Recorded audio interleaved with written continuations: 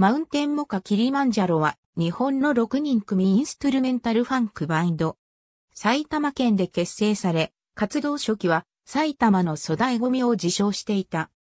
2009年には UK の名門レーベル、ジャズマンから日本人として初めて音源をリリースした。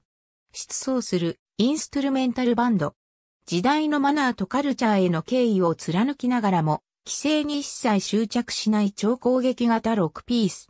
国内外のクラブシーンから野外フェスまであらゆる客席をダンスフロアに変えるヘビーファンクフォース。ソウルミュージックのマナーを基調とした大胆かつ緻密な楽曲アプローチはまさに黒人音楽を全年代的に貫くファンクを体現しており、インストファンクの新たなディレクションとなっている。さらに、毎年恒例となるオーストラリアツアーをスタートさせるなど、ストイックな落成が海外での高い評価を獲得している。以下に挙げるのはすべて国内におけるリリース情報である。海外リリースにおいてはこの限りではない。シングル版はすべてアナログレコードと配信でのリリースである。ありがとうございます。